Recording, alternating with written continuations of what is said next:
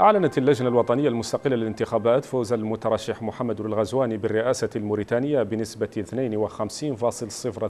52.02% وقد حل بالمركز الثاني برام الداه عبيد بنسبة 18.58% فيما حصل سيد محمد البوبكر على نسبة 17.87%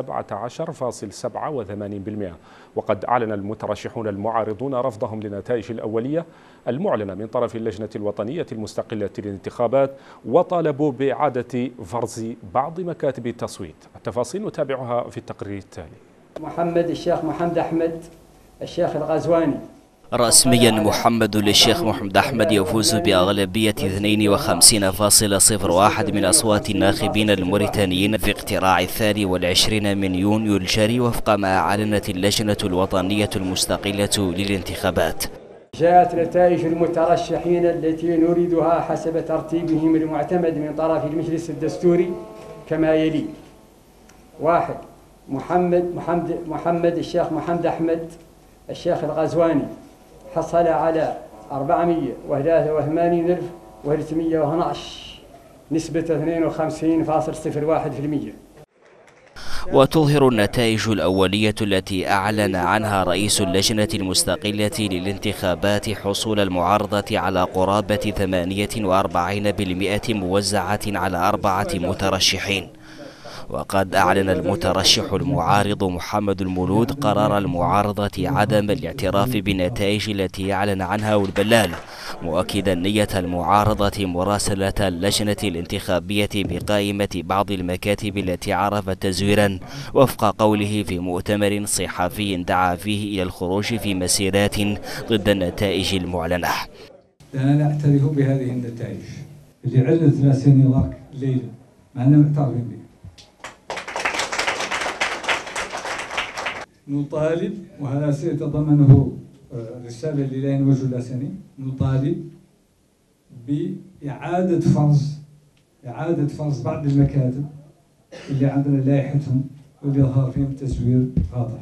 قررنا أن غدا إن شاء الله لا نعدلوا مسيرة كبيرة للاحتجاج على إعلان هذه النتائج ونظمت الانتخابات الرئاسية الموريتانية في الثاني والعشرين من الشهر الجاري بمشاركة ستة مترشحين وبلغ عدد المسجلين في هذه الانتخابات أكثر من مليون ونصف المليون ناخب صوت منهم أكثر من تسعمائة وستين ألف ناخب وبلغت نسبة المشاركة 62.66% قال المترشح للانتخابات الرئاسية برام الدا عبيد إنه أبلغ بعثة الأمم المتحدة إلى موريتانيا والتي يقودها المبعوث الأممي الخاص إلى غرب إفريقيا والساحل محمد بن شامباس برفضه النتائج المعلنة من طرف اللجنة الانتخابية. واتهم برام ردا على سؤال لقناة المرابطون على هامش مباحثات له مع بعثة أممية بنواكشوط الحكومة الموريتانية بالقيام بخروقات انتخابية واضحة ولا غبار عليها وفق تعبيره. بلغناهم عنا رافضينها تماما. وعنا ما هي اللي ما هي النتائج جاية من من من السلطة المخولة على النتائج اللي هي سيني. هي جاية من هاي النتائج جاية من عند عبد العزيز والقزواني. ونحن ذوك ما يملوا علينا النتائج نعتبرهم طرف آه الفعل البعثه اللي يتعدى ذاك اللي تعدلته البعثه اللي هي تقوم بذيك النقاشات. هي الأمم المتحدة عندها تقوم ب المساعي الحميدة بين الأطراف عندها ما هي السلطة فوق الدول ولا تملي على الدول ولا هي محكمة ولا هي مجلس دستوري آه، لا وتوف لا يدونوا ذيك الخروقات الكامل اللي صادرة من عند أي طرف وغير بعض ظاهر اللي ذاك عن التدوين آه، اللي يخلق لها عن طرف الحكومة هو اللي عدل الخرق اللي واضح ولا غبار عليه. ومعنا في الاستديو صالح ولدهماش المستشار المكلف بالاتصال في حملة المترشح محمد ولد الغزواني أهلا وسهلا بكم أهلا وسهلا. مترشح المعارضة يعلنون رفضهم للنتائج التي أعلنت عنها اللجنة المستقلة للانتخابات ويدعون للتظاهر ضدها سؤالي بالتحديد ما موقفكم من موقف المعارضة هذا؟ أهلا وسهلا. نحن نعتبر أن لا مبرر إطلاقا لأية دعوة من قبيل التظاهر أو الإخلال بالأمن والسلم أو الحياد أو أن تح... لا مبرر لأن تحيد المعارضة والمترشحين عن المسار الديمقراطي كما هو مرسوم سلفا حسب المساطر وحسب الآجال القانونية والمسطرة القانونية واضحة في هذا المجال لأن النتائج آه، كانت واضحة. والناخب الموريتاني قال كلمته الفصل. ونحن اليوم لم نعد في مرحلة التنافس لأن النتائج حسمت واللجنة الوطنية أعلنت عن النتائج المؤقتة والتي ستظل مؤقتا إلى حين إقرارها من قبل المجلس الدستوري. نحن اليوم نتطلع إلى المشترك. نتطلع إلى تقييم المكتسبات التي حققناها معا سواء كنا في الأغلبية أو في المعارضة. نحن في كلا الأطراف ننجز لموريتانيا ونكرس تجربة ديمقراطية. عز نظيرها وقل في محيطها الإقليمي والدولي والعربي خاصة. وعلينا أن نعي أهمية ذلك. آه، الإخوة لا ينبغي لهم أن يدعوا إلى التظاهر. لا مبرر إطلاقا للتظاهر. هناك انتخابات.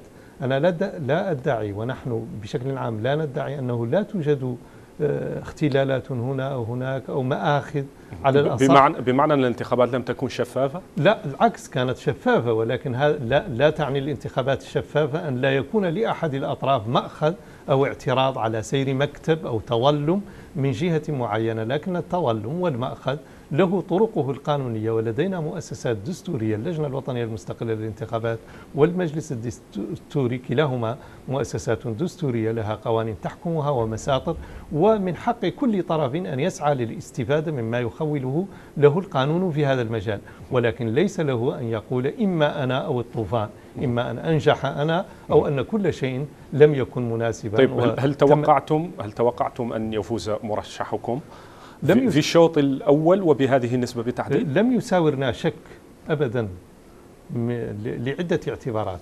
منها أن مرشحنا كان مقنعا أكثر من غيره ولأن برنامجه لقي كان متكاملا وأجاب على آه، تطلعات وطموحات الشعب الموريتاني وسير حملته كان أيضا سيرا مختلفا تماما عن باقي المتنافسين وتوقعتم نفس النسبة؟ لم نتوقع نفس النسبة كنا نتوقع أكثر منها صراحة. ولكن في النهاية المهم هو آه، أن ننجح. وأن ينجح من ورائنا الشعب الموريتاني. ونحن نعتبر أن النجاح الكبير اليوم هو نجاح التجربة الموريتانية. طيب. لم يعد رئيسنا المنتخب بالمناسبة هو رئيس لم يعد مترشحا هو رئيس منتخب. رئيسنا إلى حين إلى حين أن يعلن المجلس الدستوري إلى حين إقرار طبعا إلى حين ولكنه في الوضعية الحالية رئيس منتخب وليس مترشحا. نحن نؤكد أننا كطرف في العملية السياسية ننصاع ونستجيب للمقتضيات القانونية وللقرار النهائي للمؤسسات الدستورية أيا كان هذا القرار لكننا في المقابل نهب بالإخوة وندعوهم إلى الابتعاد عن مثل هذه هذه الأساليب طيب. لأنها لا تخدم طيب. مترشح المعارضة طالبوا بإعادة الفرز مكتبا مكتبا.